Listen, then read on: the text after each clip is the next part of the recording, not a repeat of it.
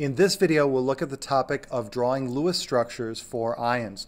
The first element that I've selected for us to take a look at is oxygen, located right here on the periodic table. Oxygen, as an atom, has a total of six valence electrons. I'll draw those in right now. One, two, three, four, five, six. When oxygen forms an ion, it will do so by gaining electrons. This will allow the oxygen atom to complete its octet. So the ion form is still going to have the six electrons that we drew in before. And I'll just do some color coding.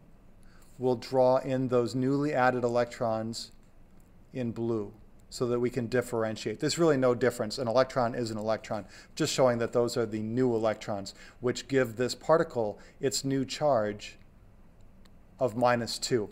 Where's this charge coming from? The oxygen ion still has 8 protons. We're getting that from the atomic number on the periodic table. Now, this is a particle which has 10 electrons because of the addition of the two electrons to form the stabilized oxygen ion that has a minus 2 charge and a full octet.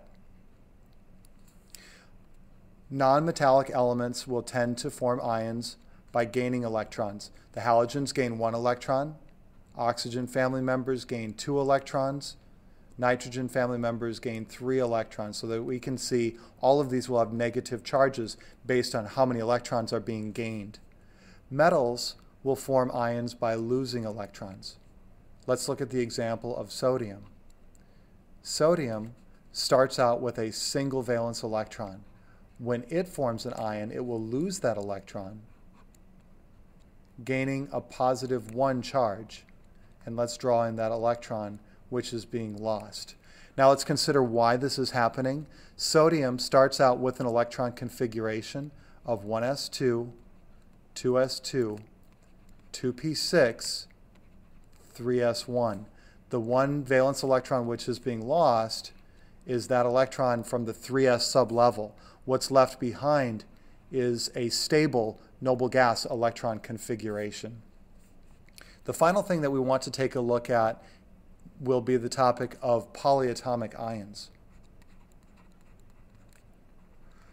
Polyatomic means that there are multiple atoms joining together to form an ion, a charged particle. One example would be hydroxide. This is an ion which has an oxygen, single bonded, to a hydrogen atom. There will be additional electrons here to fill out the octet for the oxygen. Six valence electrons came from oxygen, one came from hydrogen. There's one additional electron to complete the octet, which will give this structure an overall charge of minus one. Another example of a polyatomic ion is the ammonium ion. Now, nitrogen has five valence electrons. Hydrogens each have one. So we would predict nine valence electrons for the ammonium ion. However, the ammonium ion has a plus one charge. So we only need eight electrons to draw this Lewis structure. That means that we'll have a central nitrogen atom, which has single bonds to four atoms of hydrogen. And once again, I'm going to put square brackets around this structure and the plus sign will be written outside here. This lets us know that the plus charge is distributed over the entire structure, just as the minus charge is distributed over the entire structure, the oxygen and the hydrogen, which are bonded together. So again, to sum up, we have a total of eight valence electrons in the hydroxide ion, six from oxygen, one from hydrogen, one additional electron to give us the minus one charge.